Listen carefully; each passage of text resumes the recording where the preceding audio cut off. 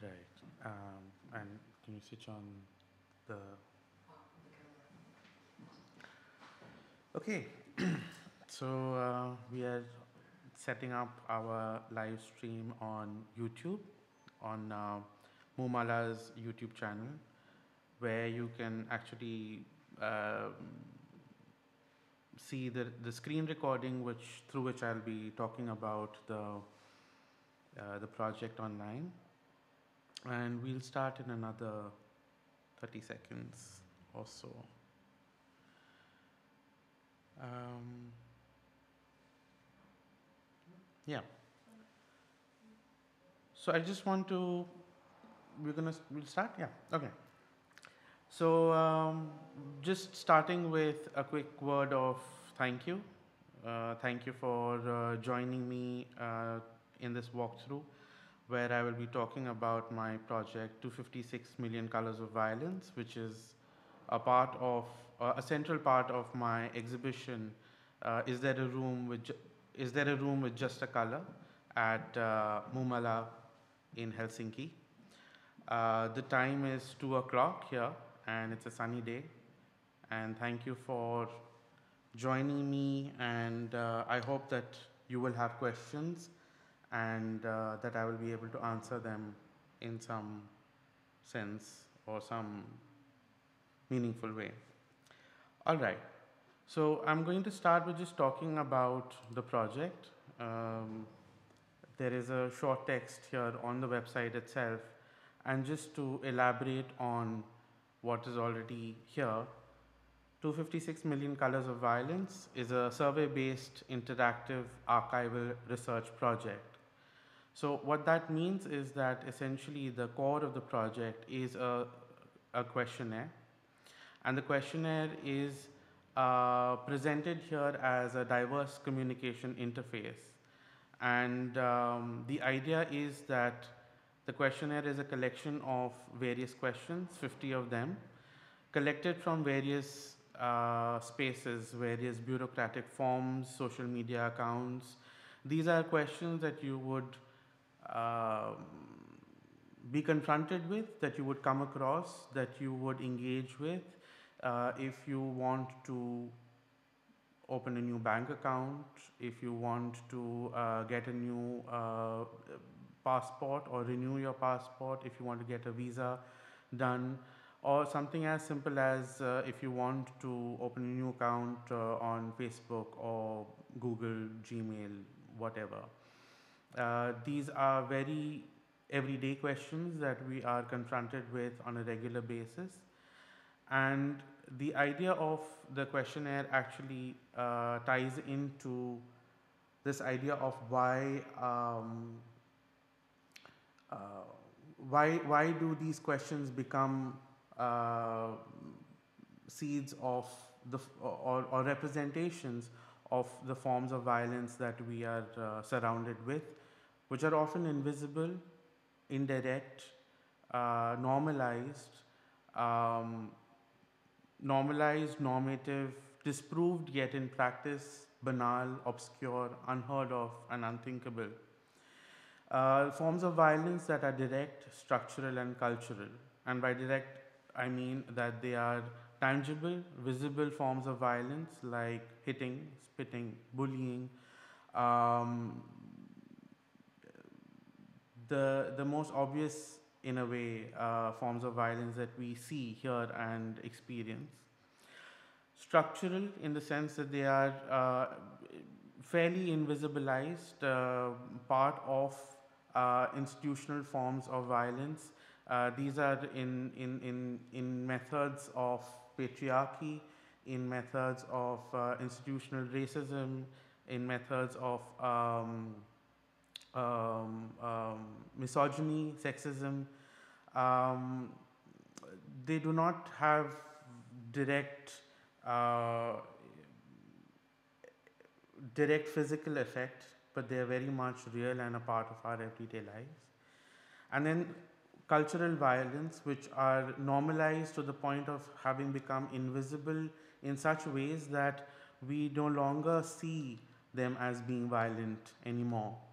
Uh, patriarchy, uh, culturally, um, culturally uh, normalized forms of violence, uh, which, which have become so seeped into our lives that for us it becomes even difficult to think of them as acts of violence. And these are, uh, these are the kind of questions that uh, the, the questionnaire is also trying to, to uh, address. To quickly talk about the history of the project, uh, the project actually is a response to specific events that uh, happened in, uh, in India uh, immediately after the historic Malegaon bomb blasts in 2008. And the Malegaon bomb blasts were uh, a series of two bomb blasts that occurred in 2008 uh, uh, in, in a small town of Malegaon, which is very close to uh, the city of Bombay in Maharashtra. And uh, this was, in a way, the first time when uh, this idea of um, uh, Hindutva fueled forms of terror and violence became a thing. Uh, init even initially, the uh, anti terrorist squad identified members of student Islamic organization called SIMI as being the perpetrators of these bomb blasts. But further investigations revealed that there were um, there was this organization called Abhinav Bharat, which is a right-wing um, Hindutva-based organization that was behind these bomb blasts. And that actually presented India with this idea of uh, Hindutva-fueled terror network that had largely remained invisible up to this point. And so in 2009, the Home Minister of that uh, of, of India at that time Mr. P. Mr. P. Chidambaram, um, in an address to the uh, police commissioners gathering, uh, spoke about the presence of saffron violence and saffron terror. And this uh, term, saffron terror, was something that became uh, the subject of a major um, issue where there were several um, uh, several legal cases registered against Mr. Chidambaram uh, and to a point where even members of his own political party condemned the statement saying that there is no color of violence, there is no color of terror, and if there is a color of terror, then it is black. And uh, so the project, so 256 million colors of violence as a project actually takes that statement and upturns it on its head, saying that there is a color of violence and that they are in fact um, they're in fact unique to each individual's own lived experience. And that lived experience is measurable in the context of various different parameters that an individual has uh, either gone through in their lives or experienced or uh, which form several parts of their own identity formations. Um, and these are, for example, uh, gender, uh, sexual preference, sexual orientation, uh, education. Um, uh, these can be in in the form of what are their education backgrounds, their income, their uh, social status uh, or perceived social status, um, their uh, social class, their working background, um, so, so essentially the, the questionnaire is a list of um, these um, mm, various lived experiences and almost trying to actually look at how these lived, lived experiences can form some kind of a data set uh, which can be represented through uh, the color of, of, or their selected color of violence. So just quickly to kind of go into uh, the project and the questionnaire, um, I want to first begin with this part of the website which talks about how to participate. And of course, the first, um, the first uh, um, statement over here is, is almost self-defeating because if you are already here, you will have been at uh, on the website, which is www.256millioncolorsofviolence.com. Um, it then describes the, the project uh, very briefly that the homepage describes, sorry, displays short uh, changing excerpts uh, from uh, the artist statement and the extended artist statement. The idea is that these are key, key ideas of the project and in a way they introduce you without having to read the text in its entirety. Um, moving forward. To, to participate, you would click participate. Uh, once you agree to the terms and conditions, the website will redirect you to the questionnaire. And uh, this is what I will do right now. So this is the uh, letter of consent. Uh, there are terms and conditions over here, which I hope that you will go through. Um, the terms and conditions are in a way designed to, to explain uh, the fact that the project is going to remain, or the entries that people participate with, the information that they, uh, they give us is going to remain uh, completely anonymous.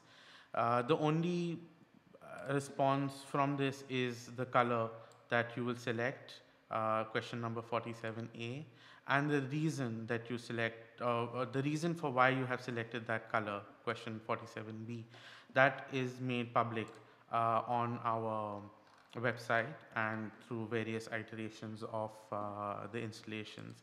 So for example, uh, these are all colors that have been submitted by the different participants and in a way these are also responses of why they have selected the colors they have selected. And these selections or these reasons actually are reflective in a way of the mindset of the people uh, their uh, thinking process, the fact that for many of them, the colors that they have selected are personal experiences um, or personal lived experiences. Uh, many of these colors are uh, political in nature. Many of these are intuitively selected. Uh, many of these are reflections of some kind of uh, events that they have gone through which may uh, may, which may be uh, some reflective of some kind of an ex traumatic experience. Uh, moving into then the questionnaire and uh, once you select these terms and conditions you can uh, once you accept them you will move into the first question which is your email and your name. I'm just going to type in my email ID over here which is Ali Akbar Mehta at, oops, oh shit, I always get uh, confused by the at the rate. So Ali Akbar Mehta, um, no, no, yeah, at uh, gmail.com and my full name Ali Mehta and I save continue. Uh, please do remember to save and not just move forward because moving forward is just uh, allowing you to go through the different questions without having to respond. Uh, only when you save uh, your response will it get saved into the database of the questionnaire. And very quickly, just want to go through this button over here, which allows you to see the different questions. Uh, so we have right from prefix or salutation or title, uh, suffix, which is your post-nominal letters, uh, pronouns, uh, asking if you have changed your name or any aliases that you are known by, uh, date of birth, gender identity, sexual orientation, race, blood type, height, weight, skin tone, dexterity or handedness. This is basically whether you are left-handed, right-handed, ambidextrous. Uh, ethnic group, any uh, distinguishing features or visible mask, mark, marks. Uh, your mother tongue, any other languages you speak, um, relationship status, number of children, education status, so on and so forth. And these are very much uh, designed to reflect on how these questions become signifiers of, of violence, whether through um, marginalization, alienation, otherness, uh, any kind of segregation. These are, in a way, markers, yes, of identity, but also markers of, of uh, difference makers um, through which the idea is for us to understand how these are going to be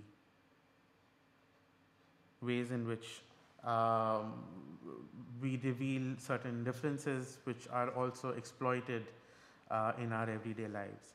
So um, a little more about each of these can be found over here in uh, these notes which accompany each question. So these are the uh, question notes. Um, you can read more and some of these are short, some of these are very long. Um, and here the idea is for me to present my thinking in terms of why I find these questions to be violent. So for example, uh, prefixes or uh, titles and salutations are primarily a patronymic, patronymic form of addressing individuals, meaning that they are derived from father or uh, a paternal ancestor. So the, the inherent foundation for uh, titles and salutations are patriarchal and that already is a very much form of the, the way we uh, have normalized this form of this kind of structural violence where whether in uh, informal contexts, working contexts, corporate contexts, uh, contexts of um, um, uh, of, of military uh, hierarchies um, or social hierarchies, we actually have very much normalized the way that these are very patriarchal um, or, or, patronymic um, forms of addressals. And also the fact that these, these forms of addressals have, are rooted in aristocrat, uh, aristocratic and monarchic uh, uh, systems of heraldry, which means that they do give a certain kind of order of um, order of class, order of um, social stratification, and in participating this, uh, for example, uh, something like lady uh, is subservient to the idea of lord um, in a in a very gender specific way, but um, there are several that uh, you can actually go through uh, which, which reveal a certain kind of a sense, sense of structural violence.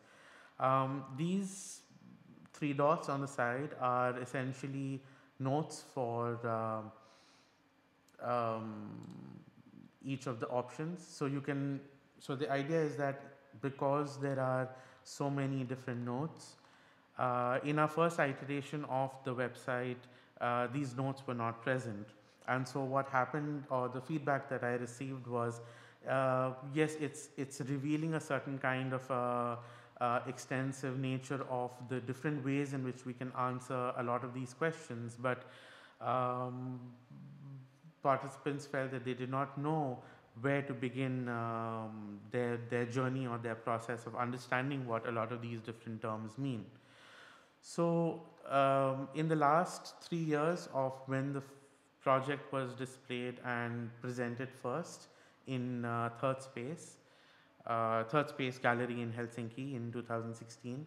The last three years of work has actually gone into building these uh, um, this extensive archive of notes that are embedded into each of the options and each of the questions.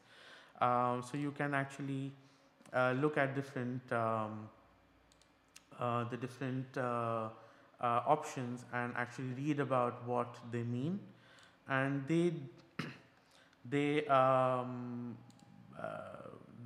these these options actually move from uh, things that are very commonly known or commonly understood uh, to um, forms which uh, or options which are um, obscure op options which are not really understood in the in everyday contexts.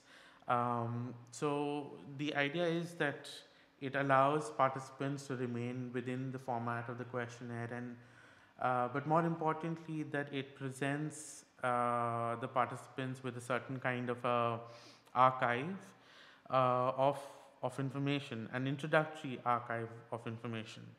And uh, in principle or ethically, this is a very important uh, thing for me to do because um, because um, surveys and these kind of questionnaire, questionnaires actually are also rooted into bureaucratic uh, systems as tools for data collection and data gathering and now uh, we know that uh, they're also tools for data farming. So uh, the project is also trying to subvert this um, this this tool, the survey questionnaire, uh, from a bureaucratic and governmental tool of data collection as a one-way stream of information into a, a two-way um, stream of an exchange and and hopefully uh, an equal exchange of uh, information and uh, hopefully uh, equal or, or, or, setting it up as a as a uh, a tool for diverse communication creating an, an, an equal exchange so although we are asking people to um, um, uh, to to give us this information through participation the idea is that we are also um, uh, trying to provide information in return and create that sense of equilibrium. So um, suffix again is um, is is uh, a form that defines a certain kind of an order of precedence, a sequential hierarchy of uh, nominal importance, um, of person based on conferred honor, writs, fraternity, uh, membership of elite and exclusive groupings, or um, simply closed groupings. Um, and this, uh, it's, it's tackling this idea of merit. Is also tackling this idea of um, of of ancestry and uh, social currency that is transferred from one generation to another. Um, so I'm going to well, select one and move forward for now. Um, again, then the idea of pronoun is um, uh, is an is a very important uh, part of how uh, pronouns and uh, uh, a certain lack of understanding of how pronouns are to be used or uh, ought to be used is a form is a form of violence for people who uh, who do not um, um, identify with the the pronoun with the gender binary. Um, this, for example, means that although his, him, um, he, his, him, and she, her, sorry. Uh, the, the masculine and the feminine um, pronouns are most commonly used. Uh, many people do not identify with them. And uh, the experience of um, going through these pronouns, and there are several of them, uh, it also kind of makes visible, and at least to me, it made visible of the fact that there is this ongoing uh, discourse, there's this ongoing uh, discussion and a need for people to um, to create forms of addressal which uh, essentially is seeking for a certain kind of a fit with their own identity and, and an acceptance of their identity uh, from a larger group of people, a larger family, a larger community um, and, and society at large. And there are many forms of uh, pronouns that uh, have become uh, a part of this kind of a discussion on what it means to uh, address individuals in a certain way. And this then is also a movement to the next question. Well, not the next question, we get to that. Um, this this question of have you ever changed your name is a very commonly asked uh, question in um, uh, in in government bureaucratic or uh, banking conditions um, and this form of identity also is um, or aliases is also uh, from this context that if you have changed your name that there has been some kind of a um, uh, lack of credibility uh, especially in the context of online spaces our online identities or or internet identities um, it, it at least in the initial um, uh, in the initial era of the first internet the online identities gave a certain kind of a form of escape. It, it created a certain kind of an anonymity that people were immediately unprepared for, but also embraced as uh, a form of alter, alterity. Um, but unfortunately, in our current uh, scenario of the Internet 2.0, or even in our real real world uh, scenarios, uh, the idea of having alternate identities or multiple identities is something that is frowned upon and um, becomes a, a, point of debate. Uh, it, it, it is this, this idea of an alternate identity is, is, is seen to be a direct attack on credibility, on legitimacy, and this is something that uh, this question or these two sets of questions of uh, changing your name or uh, changing your identity is, is essentially designed to uh, reflect upon and to reveal. Uh, then again, we have the standard questions, date of birth.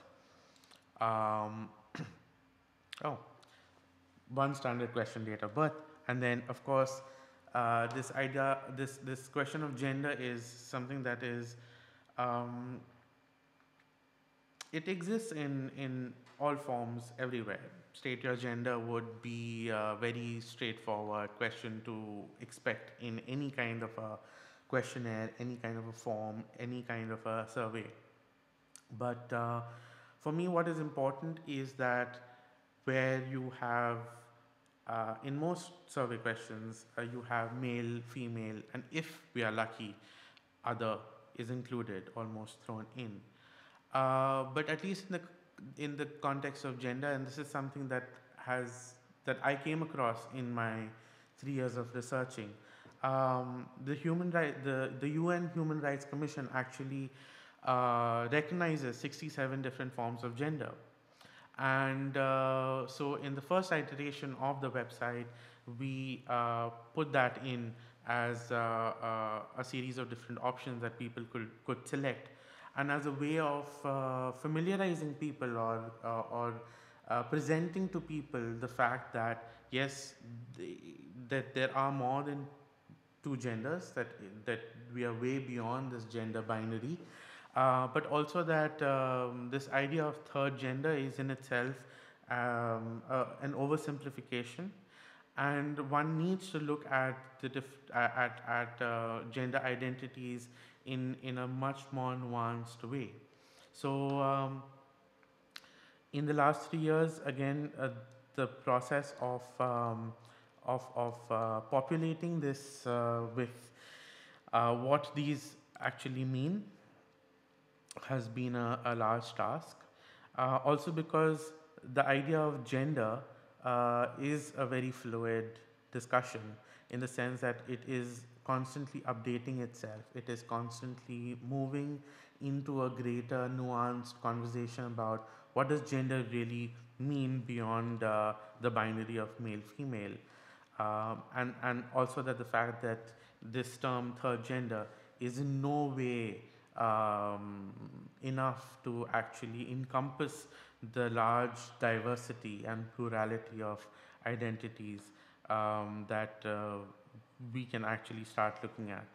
Um, so this, uh, of course, is a very important part of the questionnaire for me.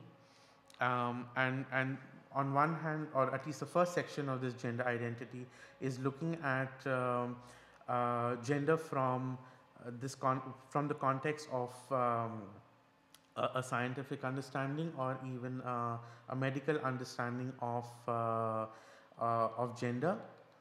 But then beyond that, there is a large list or an extensive list of additional gender identifying terms, which is also reflective of the way in which people through various communities have started uh, looking at what can gender really explode into um, and uh, can it really mean that it is such a nuanced form of uh, identity that uh, no two people may have a combination of of the same. And so um, this is one of the questions where you can actually select multiple genders because you may not really feel or you may not identify with just one gender at a time. And so I will move on to the next question and uh, this is a new question in the in this particular iteration of uh, uh, the questionnaire. Uh, I did not have a question for sexual orientation in the last version because um, I made the same mistake of uh, clubbing gender identity and sexual orientation within one uh, question. And this is something that um, we do very often without really realizing about it. Mm, and so again, um, the first uh, set is looking at uh, sexuality from a very specific context of um, what is conservatively understood as uh, sexual uh, um, identities, but then again the additional sexual ident sexually identifying terms uh, are looking at uh, ways in which sexuality is being explored today uh, in, in very different ways, in ways uh, which make sense to the people who, who need uh, to have these, um, uh, these very nuanced and detailed forms of uh, expressions of their own identity. Um, so again, to move forward, race is um, is is a very interesting question for me, and for me the it's it's it's a bit um, well for a lack of a better word it's a bit crazy that we still use race as a certain kind of an identifier uh, because we know that uh, scientifically biologically race has been disproved and so what we are left is a certain kind of a social understanding of race. We are left with a certain kind of a social usage uh, or, or a usage in social context, which, which very easily has translated into forms of racism uh, as a certain kind of a social reality.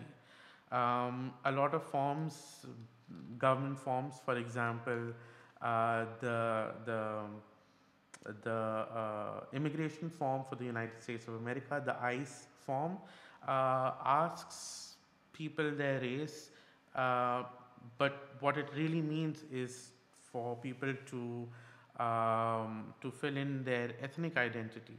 But uh, this is all. This is just one way in which race has become uh, we have started using race interch- interchangeably with ethnicity, and I just wanted to kind of put forward this um, this uh, question over here to uh, to to really make visible the fact that um, there has been this uh, move towards um, racial and ethnic discrimination when we talk about race as a certain kind of a uh, um, uh, race as a certain kind of a reality that we are confronted with, especially in terms of the ways that we have been marginalized or othered or uh, alienated. And forms of uh, racial uh, discrimination are, for example, colorblindness, nativism, xenophobia, otherness, segregation, hierarchical ranking, supremacism, and institutional racism. And these are all uh, forms of uh, racism that we are confronted with. Um, these this uh, these are options which, which, in a way are um, um, what you would have found in a very classical conservative form of racial uh, identity that was prevalent in the early, um, well, in the late 90s and uh, even up till the uh, early 2000s. Of course, these are no longer um, scientifically or biologically accepted uh, forms of identity, uh, but hey, we still use them. So they're, they're here for just uh, to make people realize that these are this is a irrelevant question but a question that is asked regularly uh, every day to people all over the world. Um, yeah and if we can you know discriminate against uh, people on the basis of race which is obviously not a scientific fact why not discriminate uh, each other on the basis of blood type? And uh, there has been a blood type related discrimination that is prevalent in in many parts of uh, Japan, South Korea and and and uh, this idea of a certain kind of a blood type or purity is also something that we talk about uh, in many many uh, cultures across the world. This blood purity is um, is, is an idea that has been so culturally normalized in our uh, in, in, in so many different cultures that it does not even come across as being violent in any way. So I just wanted to put this question here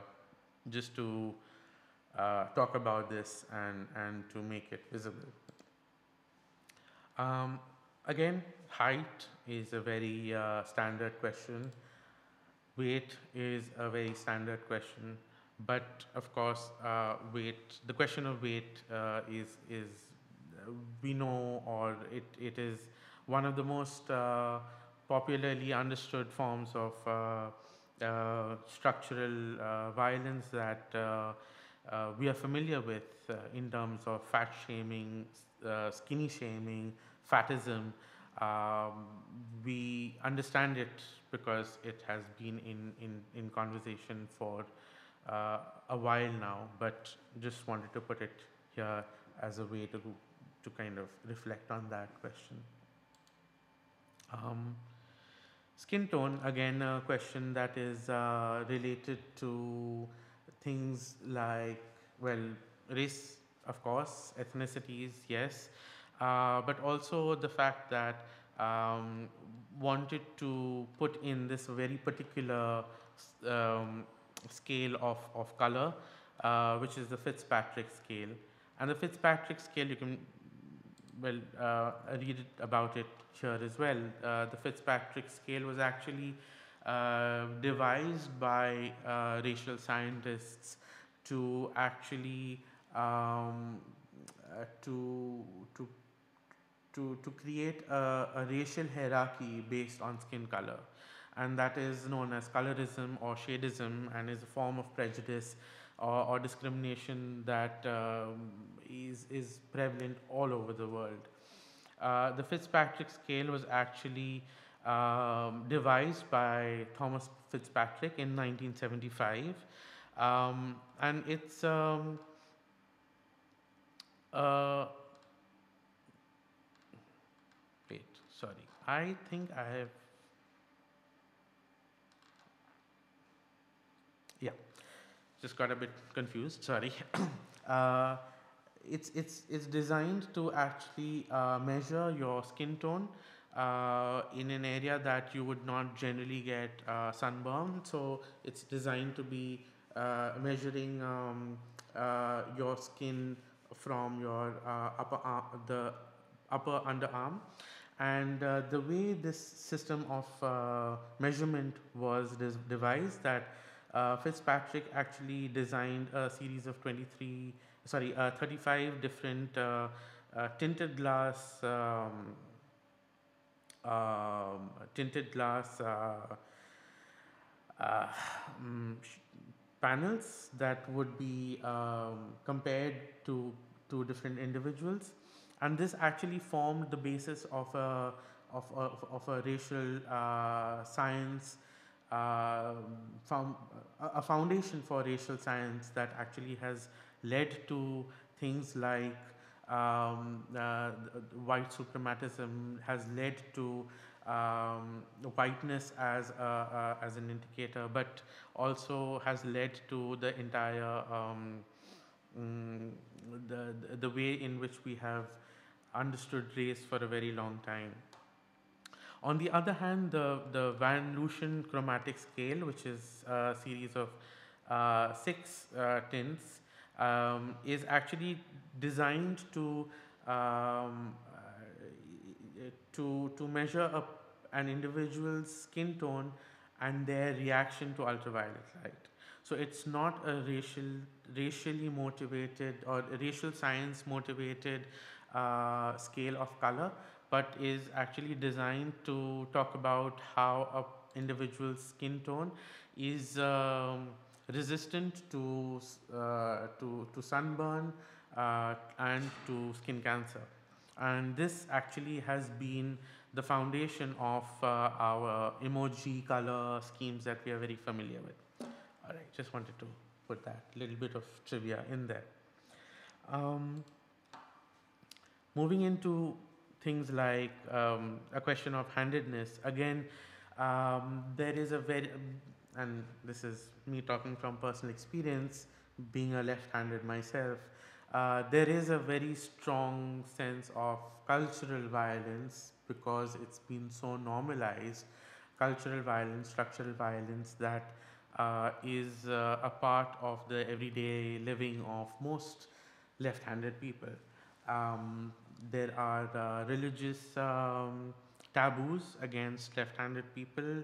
Uh, being left-handed is extremely frowned upon. Uh, for example, in Islamic culture, um, to the point where children are um,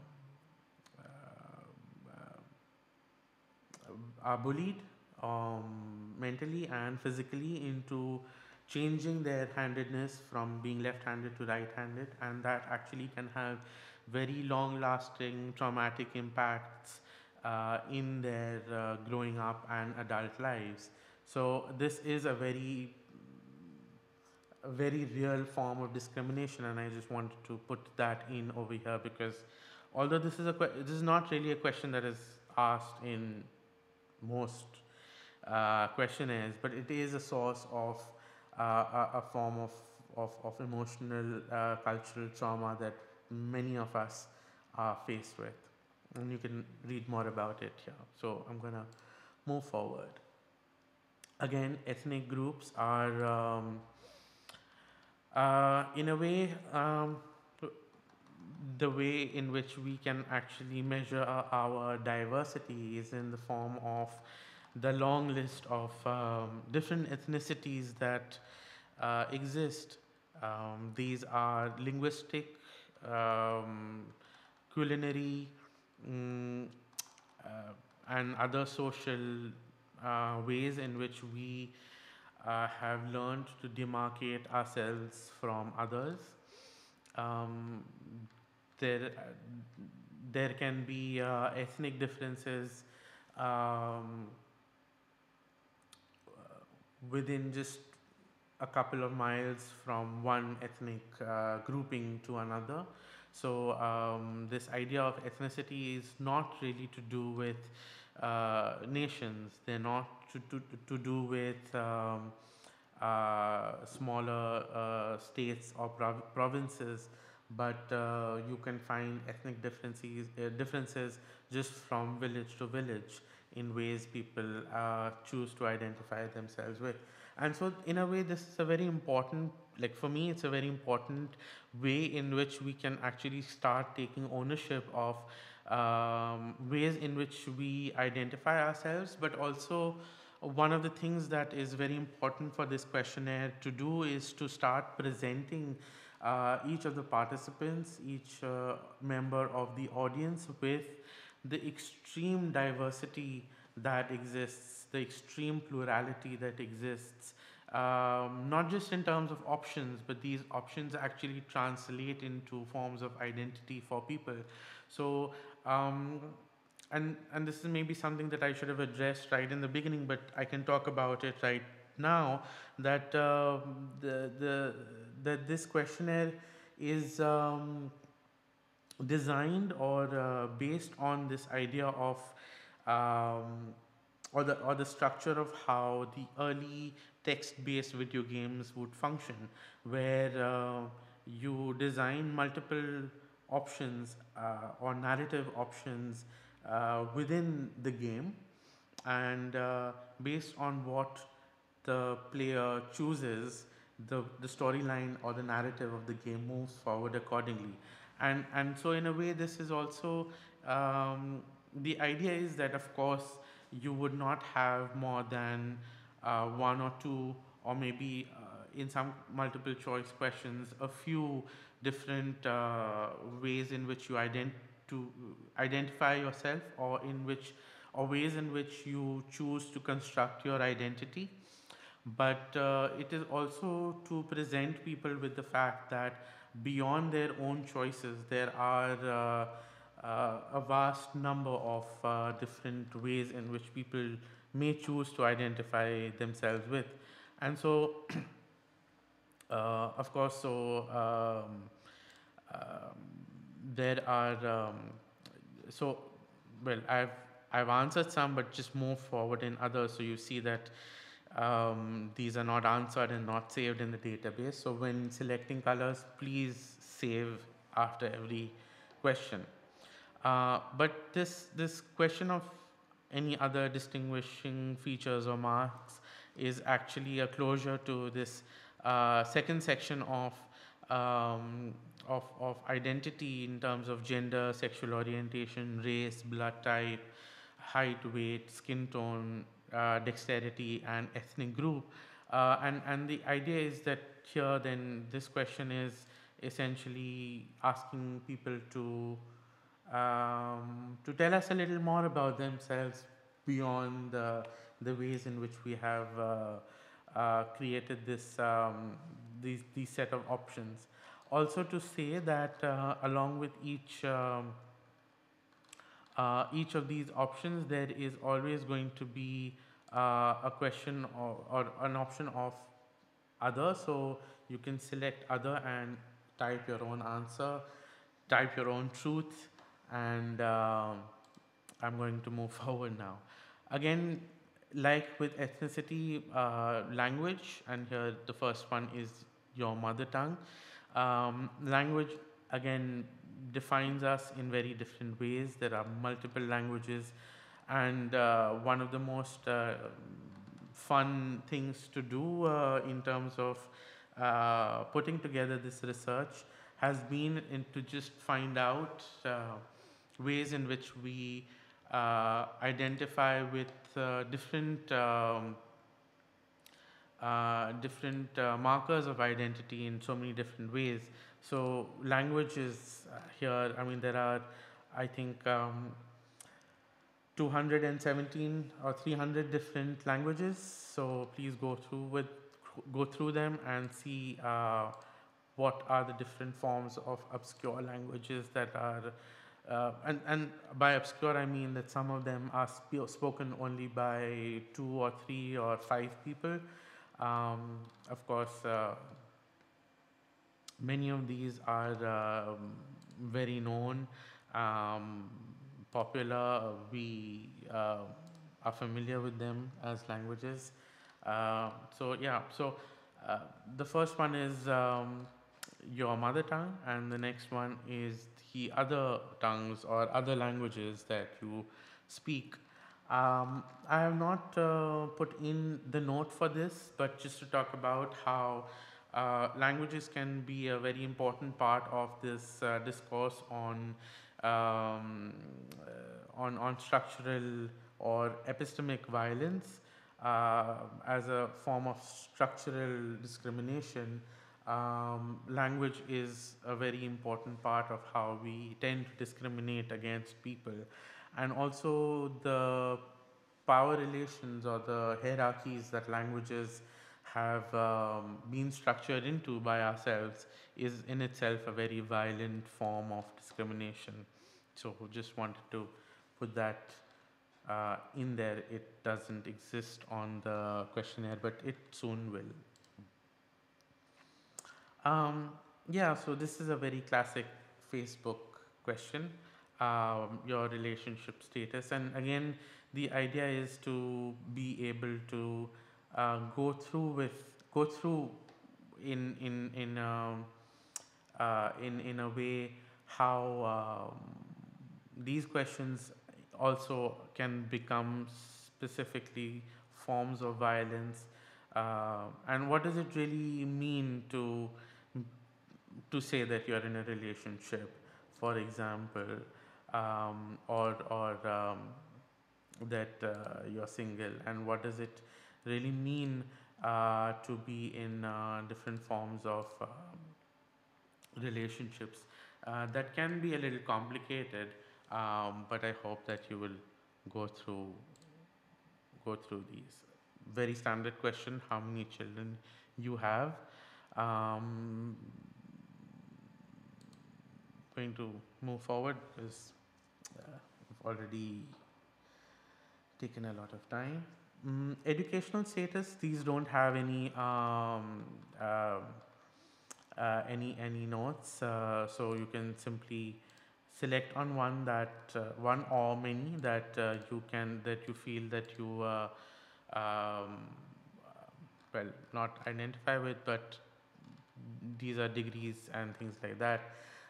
Just wanted to to to put into perspective this kind of uh, uh, the ways in which we segregate ourselves in in in in in ways that we have received education or in, in ways in which we uh, think about our qualifications, at least in the context of education. Mm, very standard questions of uh, education background, uh, high school, college, university. Um, moving again uh, as an extension of that, this idea of qualification. And so what does it mean for us to be qualified or less than qualified or underqualified or unqualified when we talk about education qualifications uh, and how that translates into a form of violence for many of us, uh, especially in um, relation to and, and often this relation to uh, dominant uh, education uh, qualification systems or qualifiers of uh, education, whether it's in the context of a, a, Western education, but also in the context of how uh, Southern or non-Western forms of um, educations do not really fit very well uh, into into some forms of qualifiers within the Western education system. Um, I will not ramble on too much about this. A note on this I will put soon. Mm, moving on to your occupation, occupation type. And again, here the idea is to, through, well, so the idea is that these are options that you would find in, um, that, that I found in uh, my own bank uh, back in India, my own bank's um, bank account opening form. And uh, these I, this, these uh, sectors of, of, of, occupation are uh, uh, sometimes known but also often not really understood in terms of what uh, they really mean. And um, one thing that really kind of was important for me to expand upon was this idea of housewife and this actually was in uh, hey uh, this was in uh, the bank account opening form and I find it a bit problematic so I've, I've added homemaker because um, yes that is important and required. Um, this is also one of the options that is most um, that I have spent some time on uh, looking at it as uh, uh, uh, looking at or even trying to um, talk about uh, the ways in which it is problematic. So um, please go through these notes. It is also looking at and hinting at feminist econ uh, economics. And for me, that's a very important part in how we are looking at the idea of economics uh, today and also the idea of occupation. So that's a bit of a shout out to feminist economics right here.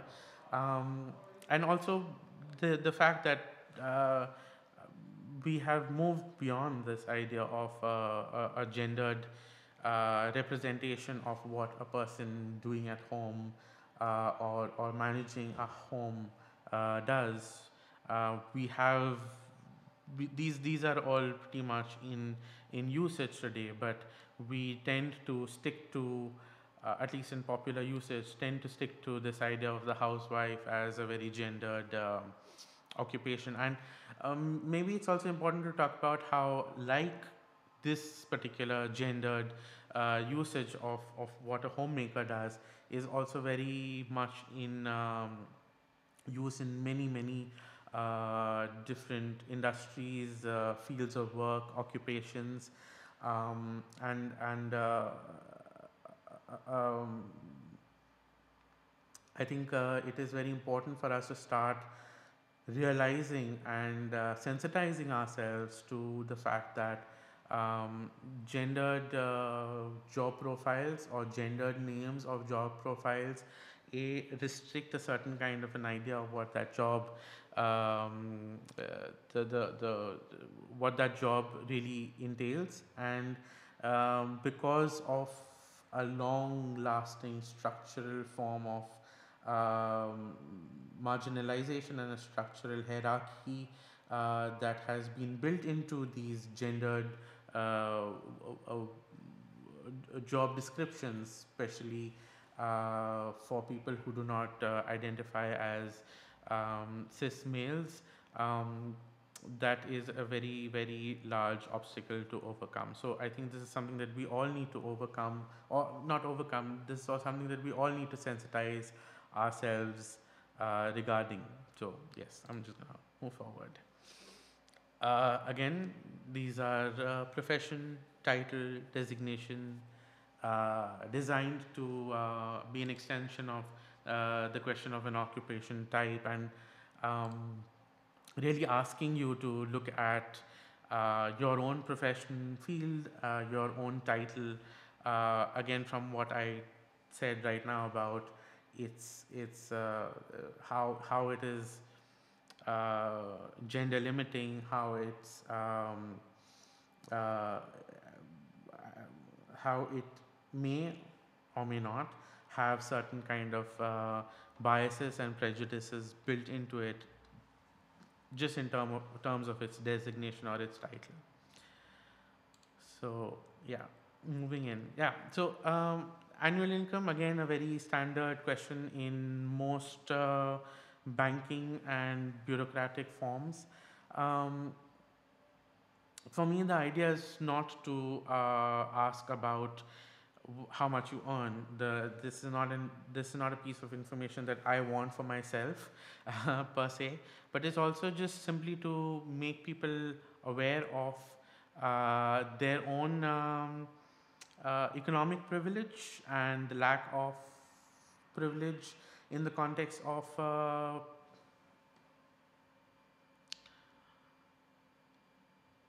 yeah so my um, instagram uh, video live video has ended. I'm just to put that aside and continue.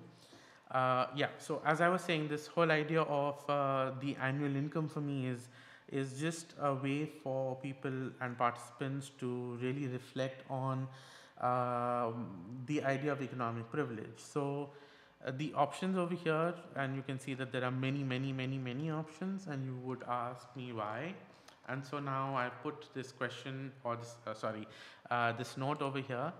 Um, the annual income is actually asking people to select a number of their own annual income. And uh, if let's select one at random this one. Uh, if you select on the note, it basically will tell you that your annual income is the estimated minimum wage of a particular country. And it gives a certain uh, figure which is the the annual minimum wage amount and the rate at which that is calculated. And um, it's essentially just to make people really realize um, how how it would work uh, and how um, mm, one's own relationship of like e- economic relationship to maybe another person's economic uh, situation can can maybe sensitize us on our own forms of privilege. This particular number over here, which is um, uh, two two million seven hundred and fifty seven thousand dollars. Um, this is essentially the salary bracket of the top zero point one percent of the world, uh, and right at the bottom over here is no or well as you can see the number is that there is no minimum wage so the minimum wage is zero.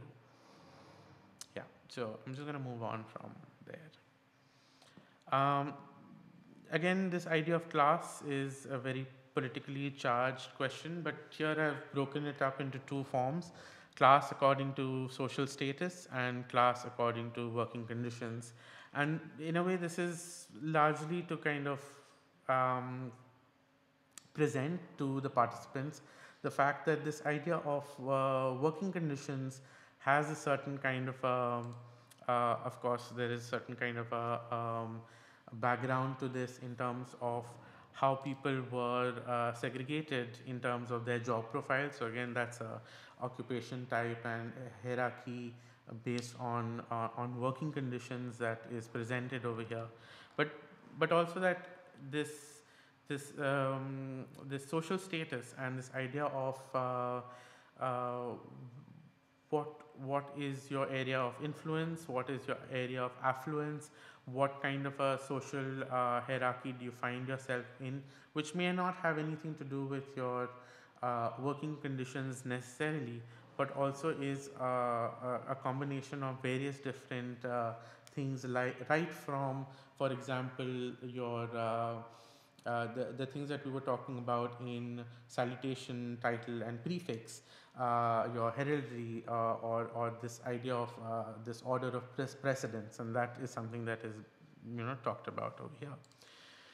Um, nationality is again a very obvious um, question that is presented in uh, most uh, survey questions, and also um, one of the ways in which we very recognizably understand uh, marginalization, discrimination, and otherness. Uh, there is a certain privilege attached to a certain uh, set of countries, a certain union of countries, uh, and of course, there is a certain kind of uh, discrimination based on ethnicity and nationality as well. So, this question of where are you from is a very sensitive uh, question to many people. It's also a question that is um, a form of a structural cultural violence. And um, this question, where are you from, is not really something that uh, many people are sensitive to when asking someone else. So, um, the, the intention of putting it is, of course, to make participants aware of their own juxtaposition within this diversity of uh, nationalities. Um, if you select on any of these options, it basically gives you a democracy index. And this democracy index is the 2019 democracy index that uh, was released in January of 2020. Uh, the fact whether it's um, um, a flawed democracy or not, uh, whether it's a, um, um, a working democracy or a full democracy or uh, whether it's authoritarian uh, um, state is, is part of that democracy index study that was done. But also, mm, for example, um, let's look at maybe I've hmm. Um, here you go. Uh, one particular example, uh, whether it's recognized or disputed or not. So uh, for me, this is also this idea of okay, this on on a national level, uh, how is national identity also something that is disputed, discussed, um, not a matter of uh, not something that one can take for granted. And um, again, moving on from nationality, uh, country of origin, again, a question that is common. So, where are you from? Is where are you really from? Um, again, country of residence, or if you are not, like for me, my country of origin is India, and I am currently living in or residing in uh, Finland. And so this question of um, where are you from also translates for many people uh, as a question of why are you really here and what are you doing here and um, that can be a very violent question for many people as well so i just wanted to put that in here as well this is actually uh, this question: Are you from a nation previously undivided? Undivided is a is a question that you would find if you apply for a passport uh, for for a a passport in India, so a, a, passport of Indian Indian nationality, and and I find it a bit of a weird question, and but also a very interesting question because uh, which country has been is a country that is previously undivided. Uh, most countries, I think, uh, I don't know, most countries have have uh, in some way or the other uh, been part of different coalitions, different divisions, uh, are federal uh, unions of many kingdoms coming together uh, so on and so forth. But this idea of unity and division and being divided or not, I think uh, is again a very important part of that discussion of uh, what does it mean to to to have say some kind of uh, purity of of identity, purity of blood, purity purity of uh, ethnicity, pure, like uh, this this this division and undivision is is for me a connection towards that uh, uh, that uh, stream of thinking or that thread of of um, questioning. Um, yes, so then this idea of citizenship, at least for for my country in India, is a very important uh, or a relevant and a topical question because uh, this this idea of of citizenship has been through birth, descent, naturalization, asylum, economic citizenship for countries like uh, Malaysia is an option, and there are certain exclusive, uh, excluded categories um, that that exist. You can have a look at that uh, in the notes, but but these are forms which are by and large largely recognized as ways in which you uh, acquire citizenship of country. And um, the government of India right now is saying that none of these are, um, uh, are relevant markers and a set of 26 different documents are required as proof of citizenship by the government of India currently. Uh, and this exercise has in part already begun in many states in India. So for me, at least as a citizen of uh, of India, this this idea of citizenship is very uh, is a very important question.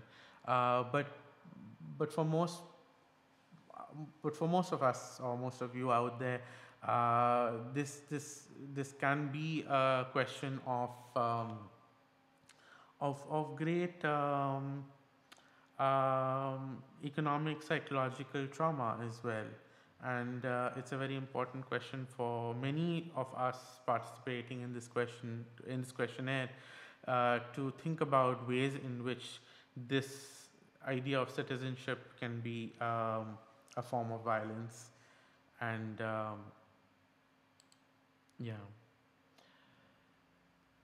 again uh, this is uh, these are questions that you would be this is a question that you would find in, in a lot of uh, applications uh, visa applications um, applications for well yes applications are for applying some for something. So um, passport uh,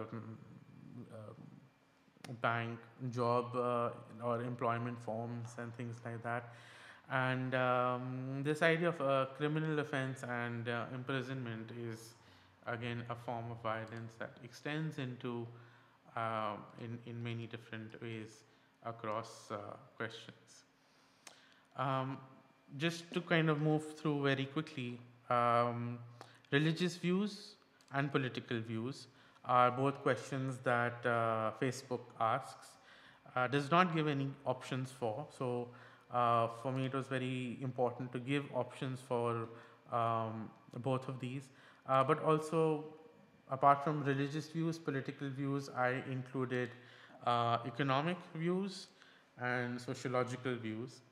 And um, just as a way to kind of you know start thinking about how yes, there is uh, religion and politics as something that we identify with, uh, but the whole religious, uh, socio political, economic quadrangle is in fact the well the Bermuda Triangle of how uh, most of our discriminations, uh, our, our segregations, our otherness can be defined, and at the same time things like political views, religious views are very strong uh, markers of identity for, for many of us.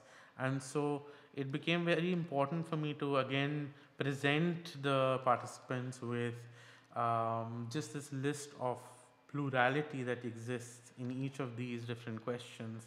Um, and, and some of these, for me personally, researching them across the last um, four years, uh, I wouldn't have imagined uh, or, or, I wasn't familiar with many of these different uh, options.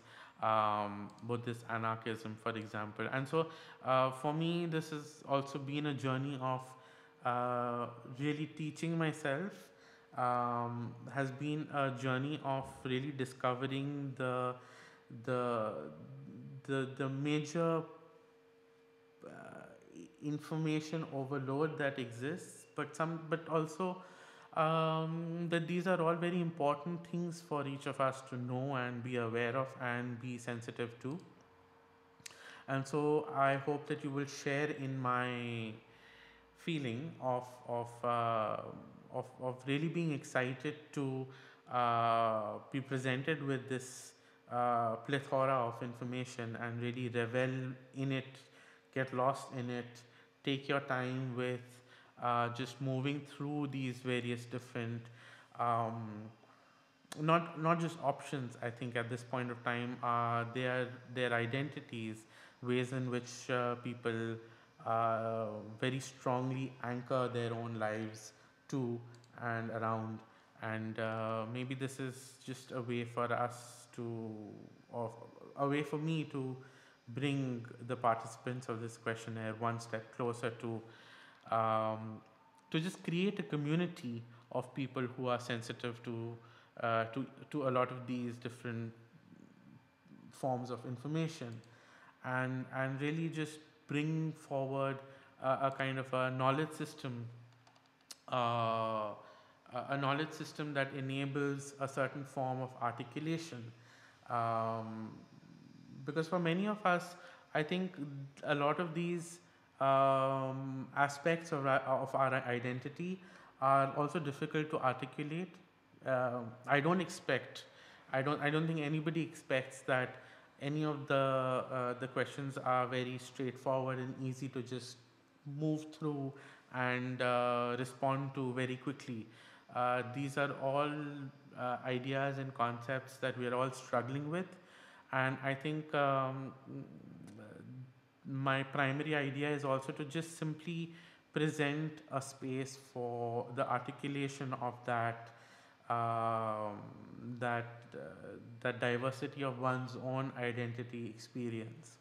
And so um, at this point of time i think it is important to ask the participants what is your state of mind? Because um, the, the, the, the series of questions are designed to elicit a certain sense of realization of the ways in which um, of the ways in which violence has become a very important part of our everyday experience. But to also you know say that hey there are a lot of different information uh, uh, a lot of different um, states of emotion and emotional experiences and to really just ask people to pause. I think this is what this particular section is aimed to do. So i'm going to move towards that and of course ask this very silly question or this um, this uh, this question of uh, have you ever previously submitted a survey form? And and to just make people realize that you know even these questions are not this is not the first time that you would have been asked this. Even in a in, in a format of a survey or, or a form or a survey questionnaire. And and to just you know um, point you in the direction of the fact that this is this is a sim, uh, that this is actually a part of our experience or of living that we have that we cannot move away from that we are going to be uh, asked these questions very frequently um, for me this is the, the, this and the question after this are uh, the most interesting or important uh, uh, parts of, of this questionnaire. So have you been in direct or indirect contact with forms of violence in your life?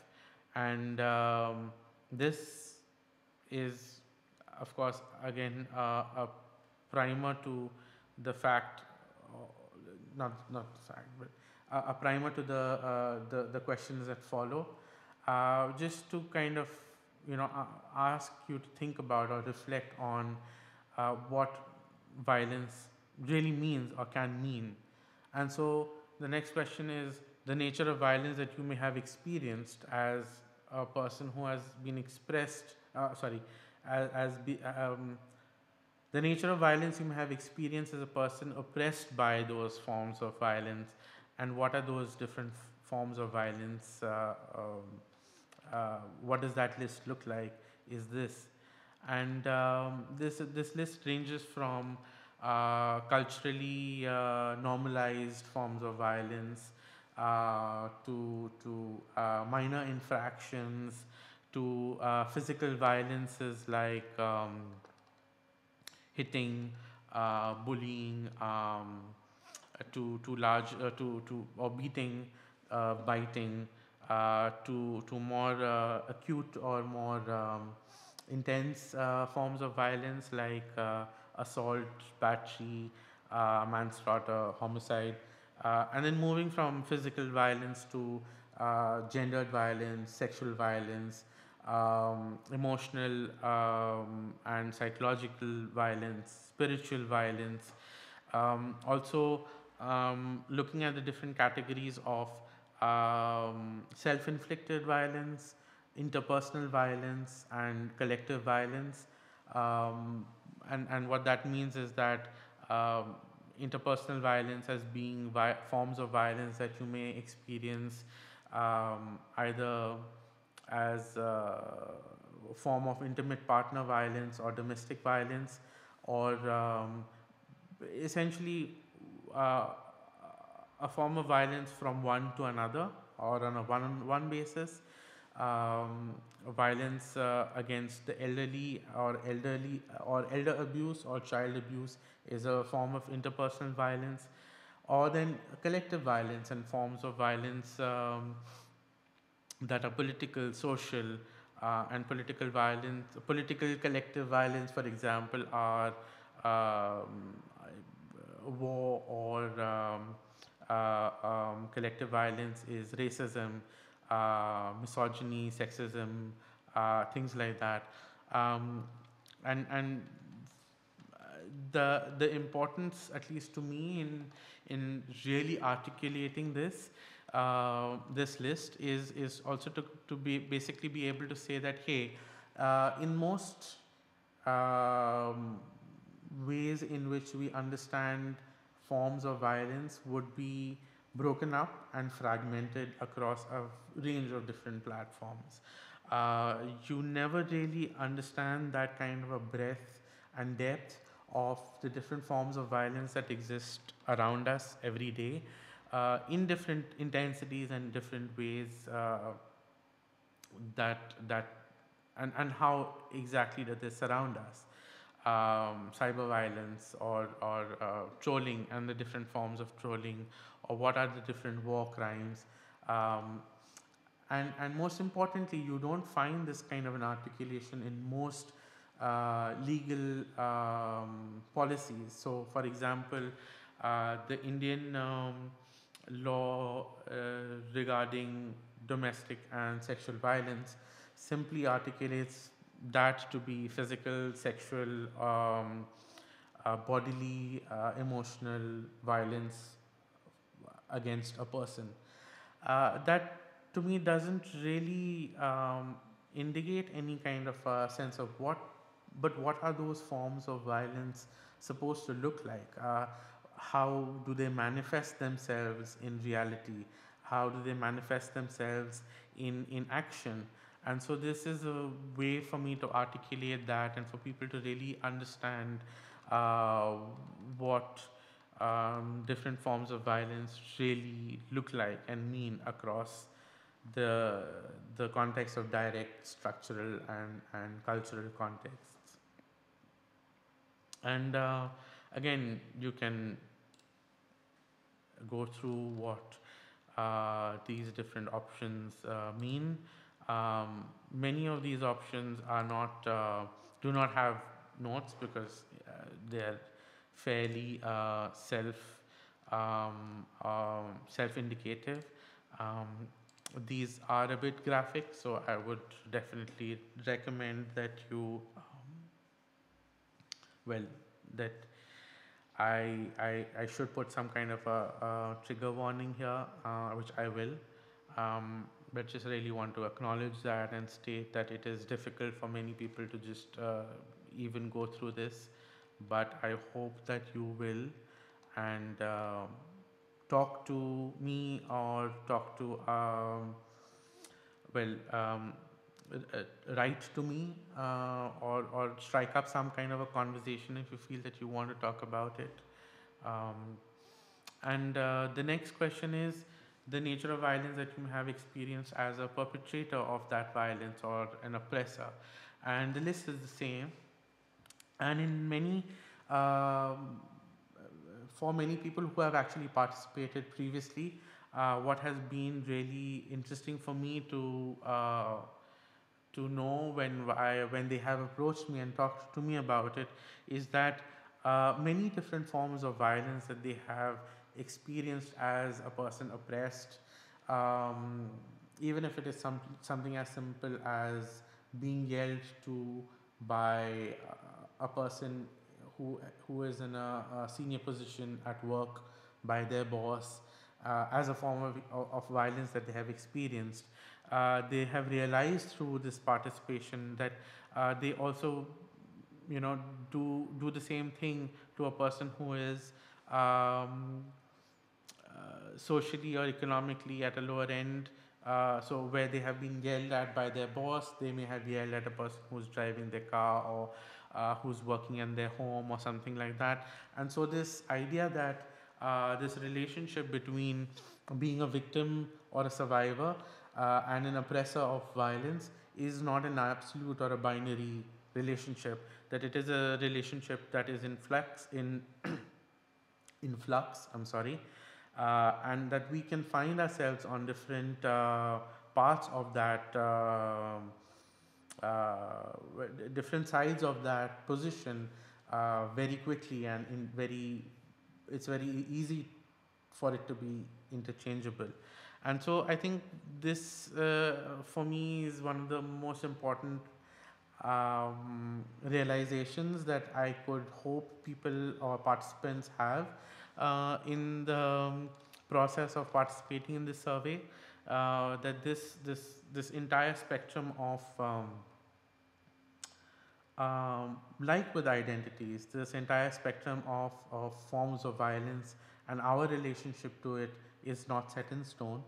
It's not binary.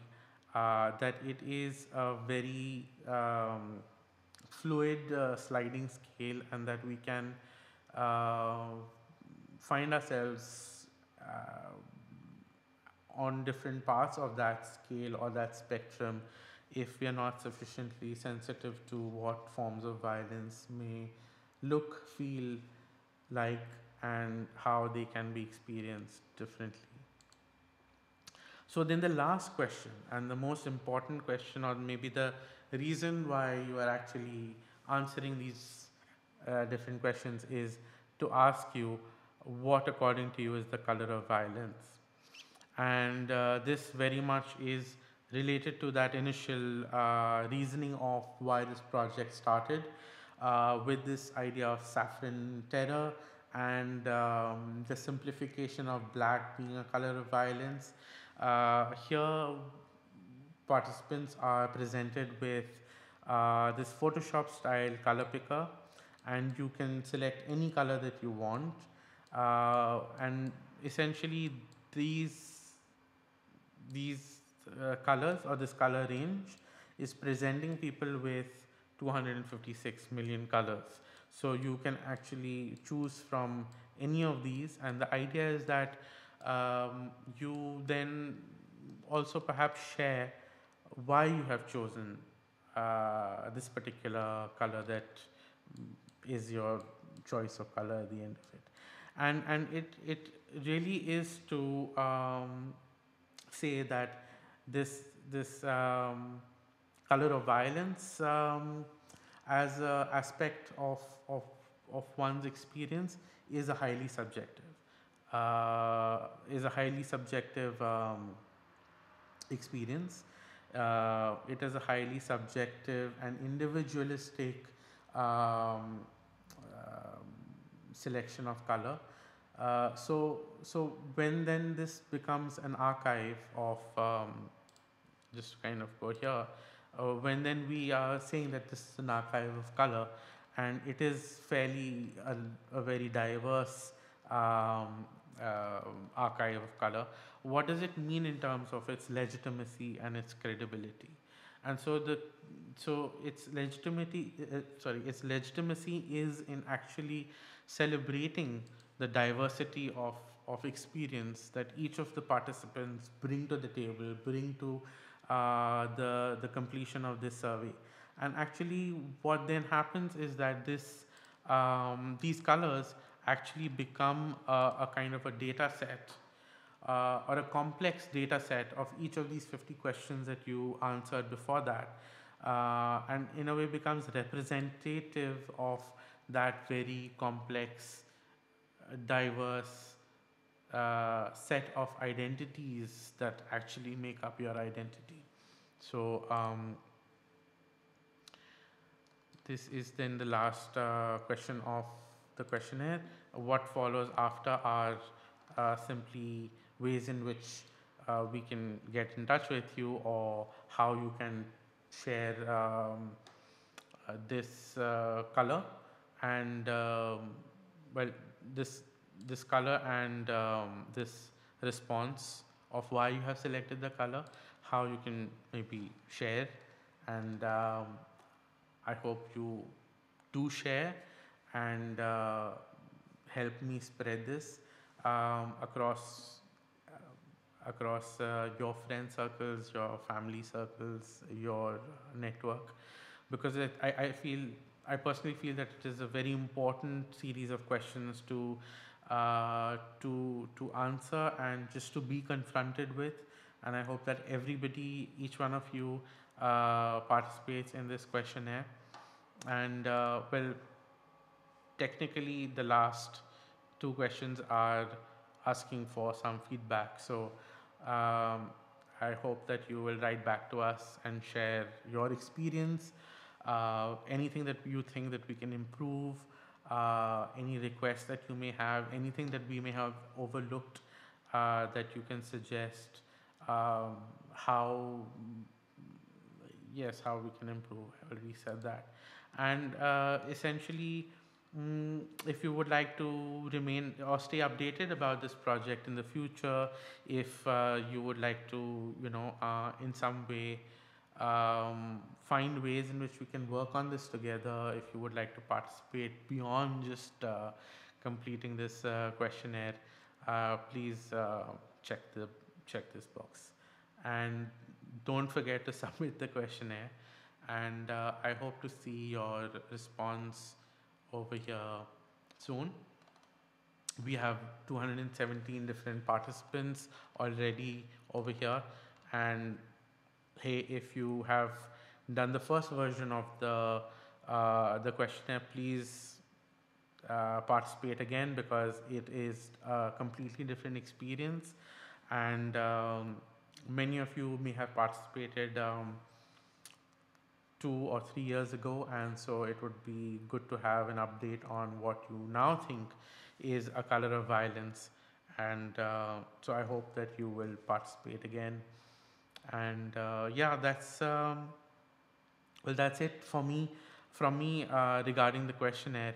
If you want to know more about uh, where the project has been exhibited before uh, I will be doing a talk about that and the whole journey of uh, um, how how this has been uh, a collaborative experience um, between me and uh, specifically Palash Mukhopadhyay. We will be doing a conversation with him at some point of time in the coming weeks uh, to just understand his perspective of having worked on this project for the last uh, three years and the various iterations that we have gone uh, through together. And um, his own background in in in uh, uh, as a UX designer and as an uh, as a person who has been instrumental in, in in creating a certain visual vocabulary for the user experience that you will uh, that you will experience it is I think an important um, conversation to hear from him his entire experience of it. Uh, but next Saturday, we will be doing a conversation with Timo Tuhkinen and talking about um, uh, digital creativity and uh, how, for me, it is a very important um, part of my own practice to, to, to look at online spaces as, um, as, as sites of exhibition but also the online as an archive and and the online as a, um, a site of archiving as an artistic practice. And so that is something that we will be doing next Saturday. So please join us again for that. And um, yeah, this is it. I will leave you to participate uh, now and um, hope to see you online soon. Thank you.